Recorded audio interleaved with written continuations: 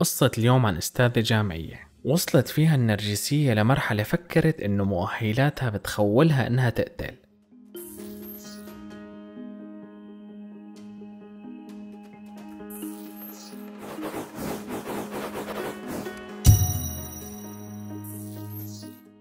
السلام عليكم معكم كريم وأهلا وسهلا فيكم بفيديو جديد. القصة بتبدأ من الستينات من حوالي 55 سنة تقريبا. لما تزوج شاب اسمه صامويل من بنت اسمها جودي. عاشوا صامويل وجودي بضواحي مدينة بوسطن بولاية ماساتشوستس بالولايات المتحدة الأمريكية وكانوا متفاهمين مع بعض وحياتهم حلوة. بعد فترة من زواجهم تحديدا بتاريخ 24 إبريل من عام 1965 صار عندهم بنت وسموها إيمي. كانت إيمي مدللة زيادة عن اللزوم من لما كانت صغيرة ومع إنه صار عندها أخ اسمه سيث أصغر منها بثلاث سنين إلا أنها ضلت هي المدللة وما كانوا أبوها وأمها يرفضوا لها أي طلب. صامويل أبو إيمي كان بروفيسور بجامعة نورث إيسترن ببوسطن وتربت إيمي وأخوها سيث على تقديس العلم من لما كانوا صغار وما كان غريب ابدا إنه إيمي كانت متفوقة فوق العادة بالمدرسة. تفوقها بالدراسة خلى أهلها يدللوها أكتر وأكتر وأي طلب كانت تطلبه ما كان حدا يقلها لا. لأنه من وجهة نظر أهلها طالما هي كويسة بالمدرسة فكل أمورها تمام وما في خوف عليها. تخرجت إيمي من مدرسة برين تري الثانوية بدرجات ممتازة وقررت تدرس علم الأحياء. بعام 1983 بدت إيمي بيشوب دراسة علم الأحياء بجامعة نورث إيسترن وهي نفس الجامعة اللي بيدرس فيها أبوها وظلت محافظة على تفوقها كانت أمي معجبة بنفسها. وواثقة بقدراتها لدرجة كانت مفكرة حالها أذكى من باقي الناس ودلال أهلها إلها عزز هالفكرة عندها لدرجة أنها وصلت لمرحلة اقتنعت أنه أي شي بدها إياه لازم يصير ونفسيتها هي خلتها ما تقدر تتحمل أي كلمة أو انتقاد من حدا يعني باختصار كانت شخصيتها نرجسية من الدرجة الأولى. أهل إيمي كانوا شايفين إنه ما في مشكلة بشخصية بنتهم لحد ما إجا يوم 6 ديسمبر عام 1986 وصارت حادثة قلبت حياتهم للأبد. شو صار بهاليوم؟ كانت إيمي اللي كان عمرها بهداك الوقت 21 سنة عم تحكي هي وأخوها سيث اللي كان عمره 18 سنة. أثناء الحديث انزعجت منه وتخانقوا. طلعت إيمي لفوق دورت على بندقية الصيد تبع أبوها وراحت على غرفتها. ما كان سبق وجربت تستخدم البندقية من قبل. لهيك جربت تستخدمها وأطلقت النار بغرفتها. نزلت على الطابق السفلي وكانوا أخوها وأمها تحت بالمطبخ. وجهت البندقية على صدر أخوها سيث وأطلقت النار. الرصاصة صابت قلبه ومات فورا. بعد ما قوست أخوها سيث هربت إيمي من البيت وهي حاملة البندقية وركضت باتجاه آخر الشارع.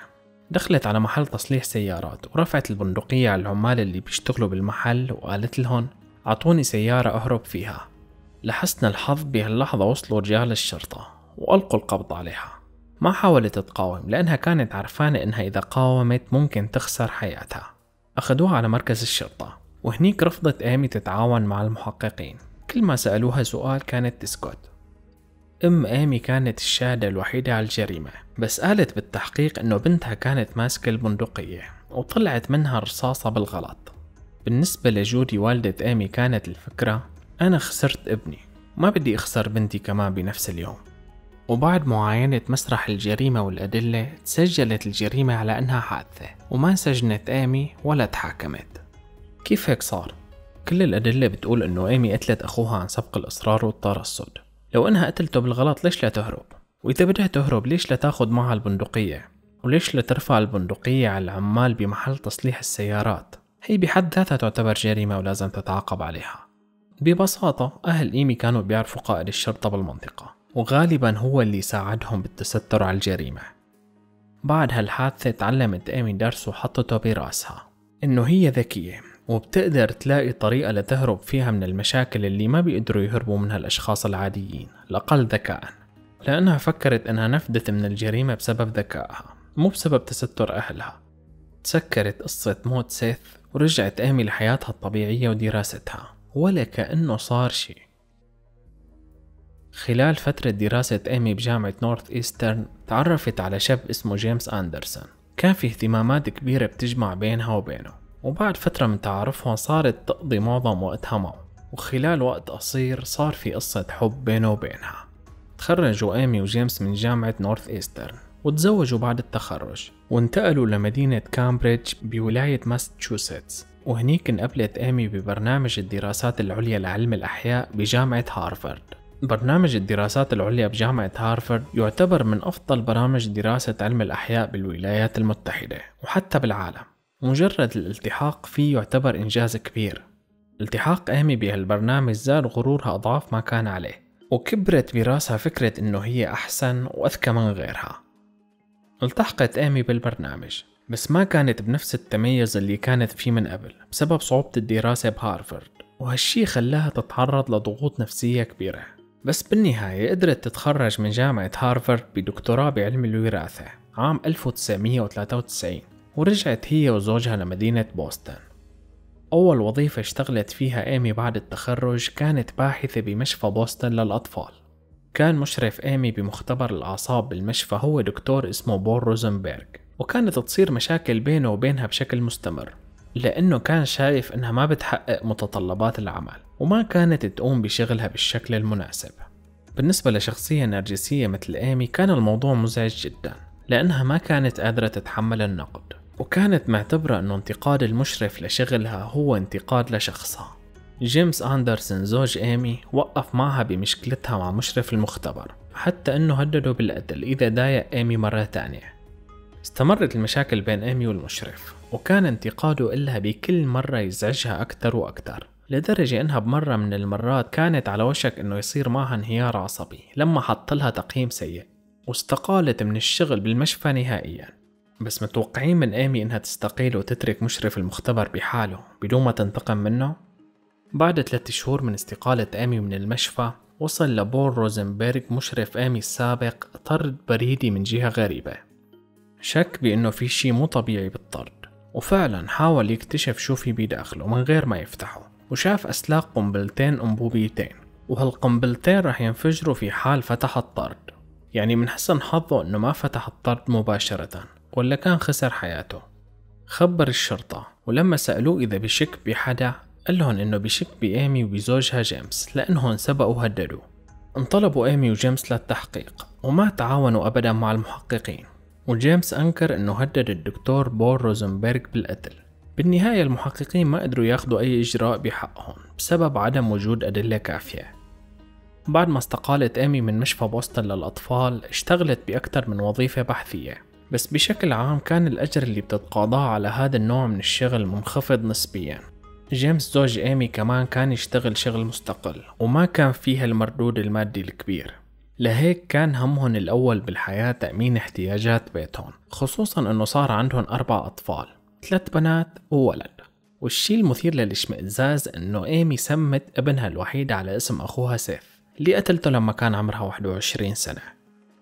بالنسبة لإيمي ما كانت حياتها البسيطة هي الحياة اللي بتطمح لها لأنها كانت تعتبر نفسها عالمة مهمة مو موظفة على وشك الإفلاس وكانت شايفة إنها بتستحق تعيش حياة الرفاهية. وهالشي كان مسبب لها ضغوط نفسية كبيرة كانت تنعكس عليها سلبا بالشغل. كانت إيمي تقضي وقتها بين الشغل وبين الاهتمام بولادها ووقت فراغها كانت تقضيه بكتابة الروايات. شخصية إيمي النرجسية كانت تتسبب بمشاكل كتيرة. على سبيل المثال بعام 2002 راحت إيمي وزوجها وولادها على مطعم IHOP ليتناولوا وجبة الإفطار هنيك. وبهداك اليوم كان المطعم مزدحم أكتر من العادة. طلبوا وجبات بانكيك وطلبت إيمي كرسي خاص للأطفال لأبنها الصغير سيث اعتذرت منها الكرسونة وقالت لها إنه الكراسي الخاصة بالأطفال خلصت وقبل شوي في عائلة تانية أخذت آخر كرسي.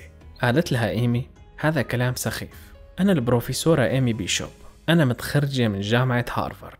راحت لعند عائلة بالمطعم كان معهم كرسي أطفال وقالت للأم أعطيني الكرسي ردت عليها السيدة لا عم نستخدمه صارت إيمي بدها تاخد الكرسي بالغصب فحاولت تمنعها. وما كان من إيمي إلا إنها صارت تضرب السيدة على وجهها. كانت إيمي شغالة على مبدأ. أنا إيمي بيشوب أحسن من كل الناس وإذا بدي شي لازم أخده. وإذا منعتني من إني أخده رح أأذيك. جيمس زوج إيمي كان قاعد عم يتفرج وما عمل أي شي. بعد شوي إجوا رجال الشرطة ألقوا القبض على إيمي. ولحتى تتجنب الحكم عليها وافقت على حضور دورة إدارة الغضب.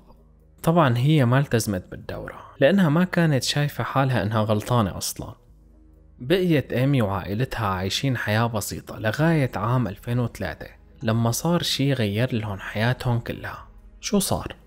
حصلت إيمي على عرض وظيفي للتدريس بجامعة ألاباما وطبعا وافقت مباشرة على العرض وبدون تردد. بالنسبة إلها الوظيفة بتحقق لها راتب كبير وثابت. بيخليها تعيش حياة الرفاهية اللي انحرمت منها بالسنين الماضية. وبنفس الوقت بتحقق لها مركز اجتماعي بليق فيها وبشخصيتها النرجسية. انتقلت إيمي وعائلتها من بوسطن لمدينة هانتسفيل اللي موجودة فيها الجامعة. كانت إيمي بالبداية متحمسة للمركز الجديد وكانت مثال للأستاذة الكويسة والودودة وكانوا كل الطلاب يحبوها. هالفترة كانت ذهبية بالنسبة لإيمي مو بس بسبب الوظيفة بالجامعة. كمان لأنها بهي الفترة نجحت نجاح مبهر ببحوثها الخاصة. قدرت تصمم هي وزوجها جيمس حاضنة خلايا إلكترونية مصممة للحفاظ على بقاء الخلايا حية لوقت أطول. هالاختراع كان نجاح كبير لإيمي كانت عم تنتظره من زمان وبنفس الوقت قدرت تستفيد منه ماديا. وعلى قد ما كان هالنجاح شي كويس إلا أنه عزز عند إيمي الفكرة القديمة برأسها إنها أذكى من العالم وبحق لها تعمل شو ما بدها. مع مرور الوقت صارت إيمي تتغير للأسوأ بالجامعة. صارت تتعامل طلابها بفوقية ولما حدا منهم يسألها شي سؤال كانت تتعصب وتقول لا تضيعوا لي وقتي. طالما انكم عم تسألوا فإنتم مو لازم تكونوا عم تدرسوا هون.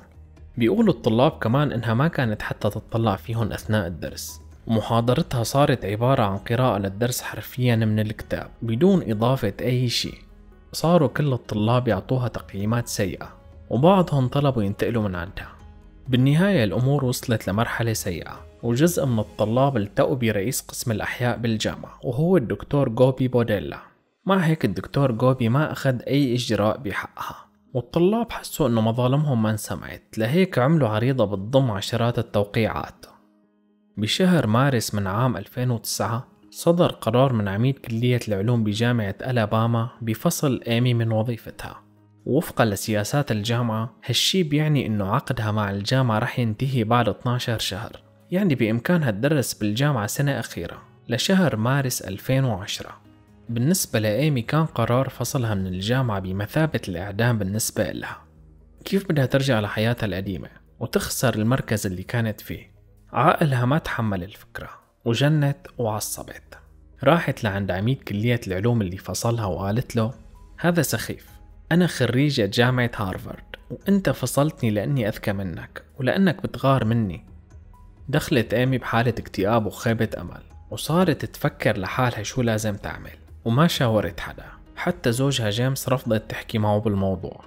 ما فكرت إيمي إنها لازم تدور على شغل جديد. لا بالعكس. كانت مصرة إنها رح تربح الرهان وتبقى بشغلها القديم وكانت تتأكد لرفقاتها إنها رح تستمر بالتدريس بجامعة ألاباما. قدمت إيمي شكوى ضد الجامعة للجنة تكافؤ الفرص وقالت بالشكوى إنه إدارة الجامعة عندها تمييز بين الجنسين لصالح الرجال لهيك فصلوها. لجنة تكافؤ الفرص حققوا بالموضوع واكتشفوا إنه الكلام مو صحيح. ومع هيك ما يأست إيمي من المحاولة. ببداية عام 2010 قدمت طلب استئناف لرئاسة الجامعة وانرفض طلب الاستئناف. كانت هاي اللحظة هي أسوأ كابوس بالنسبة لإيمي. لأنها كانت متأكدة إنها رح تقدر تقنعهم يغيروا وجهة نظرهم. بس فشلت وما بقي قدامها أي مجال للمحاولة. يعني فصلها من الجامعة صار أمر واقع. قالت إيمي لحالها علي وعلى أعدائي. وقررت أنها تنتقم. تاريخ 12 فبراير عام 2010 صارت حادثة هزت جامعة ألاباما والولايات المتحدة الأمريكية كلها. شو صار؟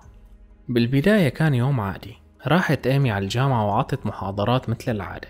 وحسب كلام الطلاب اللي درستهم بهذا اليوم كانت طبيعية جدا.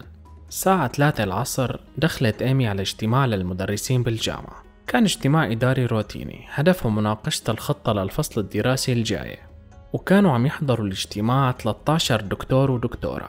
من أهم الكفاءات العلمية بمجال إجراء الأبحاث على مستوى الولايات المتحدة الأمريكية كلها. الحاضرين استغربوا من وجود إيمي بالاجتماع لأنهم بيعرفوا إنها مفصولة ومو باقي لها إلا أقل من شهر بالجامعة بس قالوا لحالهم مو مشكلة. بتضل زميلتنا وحابة تحضر يمكن عم تودع الجامعة.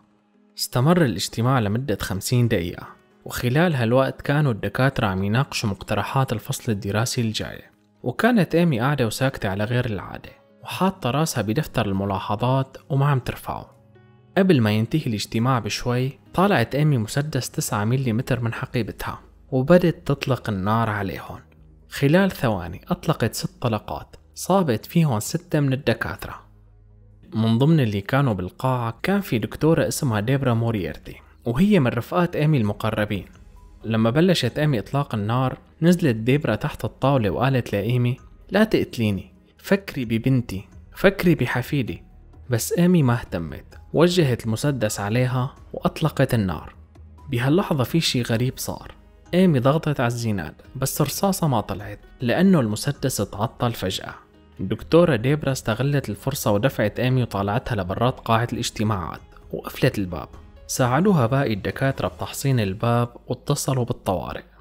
كانت إيمي ناوية تقتل كل الأشخاص اللي بالقاعة بس العطل اللي صار بالمسدس أنقذ حياة البقية خلال وقت قصير العشرات من رجال الشرطة اقتحموا الحرم الجامعي لدرجة أنه صار يبين وكأنه منطقة حرب. حصيلة إطلاق إيمي للنار كانت ثلاث قتلى وثلاث جرحى. أصيب جوبي بوديلا رئيس القسم برصاصة براسه ومات مباشرة. الضحية الثانية هي الدكتورة ماريا راغلاند ديفيس وهي دكتورة بعلم الأحياء. الضحية الثالثة كمان كان عالم أحياء اسمه أدرييل جونسون. والثلاث جرحى هنن لويس كروز فيرا وهو دكتور بعلم الأحياء. جوزيف ليهي كمان دكتور بعلم الأحياء. ومساعدة اسمها ستيفاني مونتيتشيلو. حاولوا المسعفين إنقاذ الجرحى. بينما رجال الشرطة صاروا يلفوا بالمبنى ليساعدوا الطلاب على الخروج لأنهم ما كانوا بيعرفوا وين إيمي خصوصا أنه كان في مخاوف من أنها تحط قنبلة فيروسية بالمبنى. شو سبب هالمخاوف؟ كانت إيمي تعاملت من قبل مع فيروس الهربس. وكتبت رواية بتحكي فيها عن انتشار فيروس مشابه إله بكل العالم وهالفيروس تسبب بإجهاض كل النساء الحوامل. وبما أنه إيمي قتلت الدكاترة بقاعة الاجتماعات فمو مستبعد إنها تكون ناوية تعمل شي أكبر من هيك وتطبق روايتها على أرض الواقع. أكيد خطر ببالكم سؤال وين راحت ايمي بعد ما طلعوها من قاعة الاجتماعات؟ طلعت على الحمام بالدور الثاني. رمت المسدس بسلة المهملات وحطت فوقه مناديل. ونظفت الدم من على وجهها وإيديها وخلعت جاكيتها لأنه كان متوسخ بالدم وكمان حطته بسلة المهملات. اتصلت بزوجها ليجي ياخدها مثل أي يوم شغل عادي بس قالت له ياخدها من باب الجامعة الخلفي. بالنسبة إلها كانت مفكرة إنه الموضوع بهالبساطة وإنه بذكائها خططت إنها تطلع من الباب الخلفي وما حدا رح يقدر يلاقيها. طبعا بمجرد ما طلعت من باب المبنى رجال الشرطة شافوها وألقوا القبض عليها. وصل جيمس على الجامعة ولما كان عم يركن سيارته شاف قدامه مشهد صادم. شاف الشرطة عم يحطوا القيود بإيدين إيمي. ما كان عنده أي فكرة عن أنه مرته قتلت ثلاث أشخاص لأنه ما حس بأي شي غريب لما اتصلت فيه. كانت إيمي عم تقول للشرطة لما ألقوا القبض عليها ما صار شي ما عملت شي ولما سألوها عن الأشخاص اللي قتلتهم قالت ما ماتوا لساتهم عايشين.